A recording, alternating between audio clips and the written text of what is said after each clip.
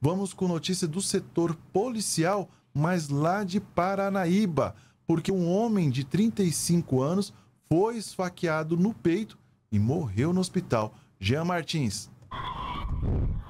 Olá, Israel. Olá a todos que nos acompanham. José Francisco da Silva Souza, 35 anos, morreu na madrugada de domingo, dia 13, após ser esfaqueado no peito.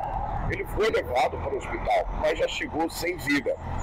Acordo com o boletim de ocorrência, a Polícia Civil foi acionada por funcionário da Santa Casa por volta das 5 horas da manhã, informando sobre o rapaz que deu entrada no local por volta das 4h50, já morto e com uma facada no peito.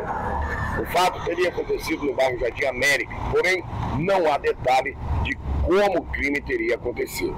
Mas o tio da vítima, que estava no hospital, informou à polícia quem seria o autor da facada, identificado como Raimundo Nonato Gomes Pereira, 25 anos, conhecido como Batata.